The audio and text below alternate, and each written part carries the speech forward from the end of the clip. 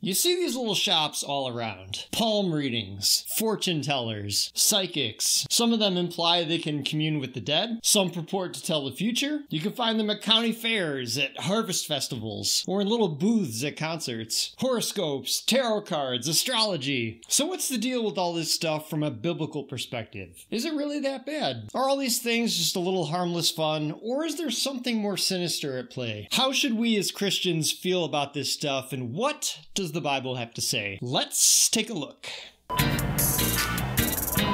Attention, bargain shoppers. So the Bible has many verses which address fortune telling, sorcery, necromancy, things of that nature. One verse which comes to mind is Isaiah 8:19. When they say to you, "Inquire of the mediums and the necromancers who chirp and mutter, should not a people inquire of their God?"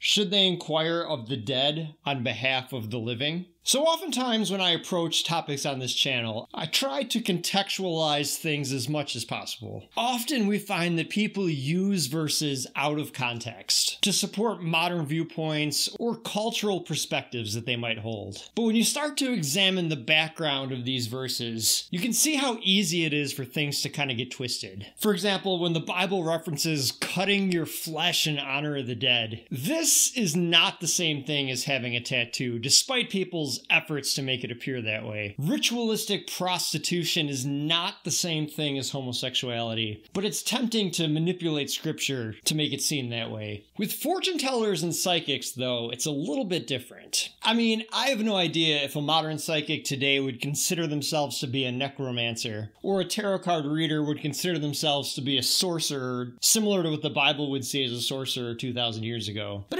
is different, though, because the motivation and the mechanism behind these these practices are still the same. What do I mean by this? When we're applying scripture in our lives today, it's important to understand that some things are different and other things are the same. I hope you were sitting down for that incredibly insightful revelation. I mean, the only thing that branding or scarring in the Old Testament has to do with tattoos is that I guess they both have to do with skin, I guess. They're different things. One is not the other. However, if you look at something like prayer, for example, the trappings may look different. The external things, how long they prayed may have been different, what they said, whether they sat, stood, or knelt. The externalities may look different, but the mechanism is the same. The core of what prayer is today is the same as it was back then. The definition of prayer is, and was, a solemn request for help or expression of thanks to God or an object of worship. What people are trying to accomplish with it. What prayer is remains unchanged. So too is the case with fortune tellers and with psychics. It may look different on the surface. It might be in a shop instead of in a tent. The decor may be more earthy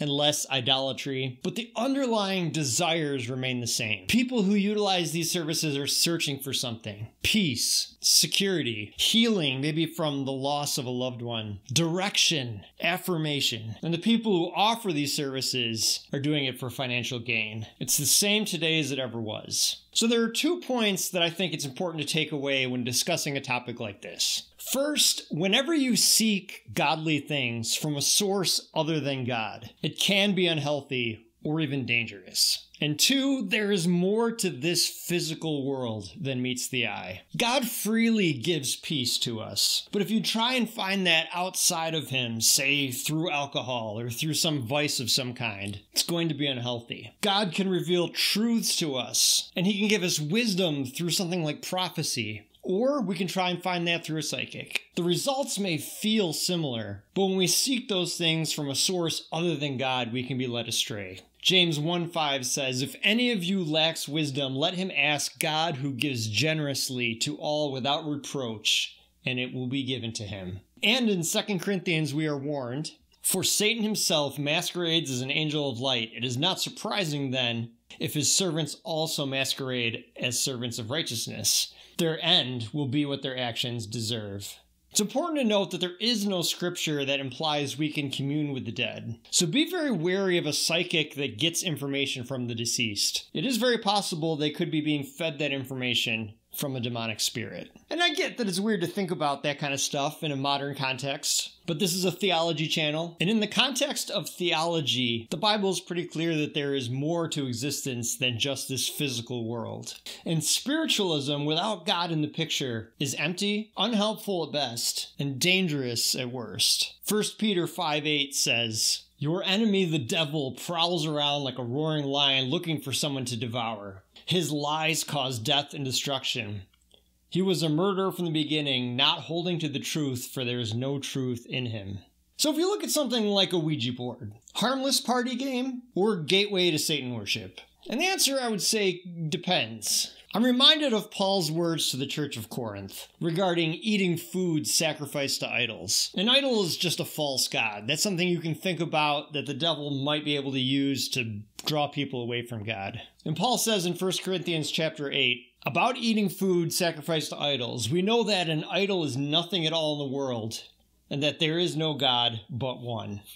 He's saying, look, idols are not real gods. And if you eat something that's sacrificed to them, as a Christian, it doesn't really matter. God is more powerful. If you play a game or have tarot cards read, it doesn't really have any power over you if you understand that the true power of God dwarfs anything else in this world.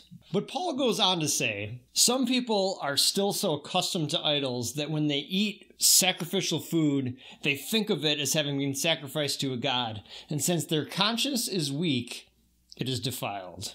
So if you're a Christian and you're going to places like this, and people who aren't Christians see you participating in this stuff, it's going to send the wrong message. If they don't have the understanding that you have, that these things are totally meaningless compared to the power of God, then by participating in these things, you may be helping them to stumble. Paul goes on to say, be careful, however, that the exercise of your rights does not become a stumbling block to the weak.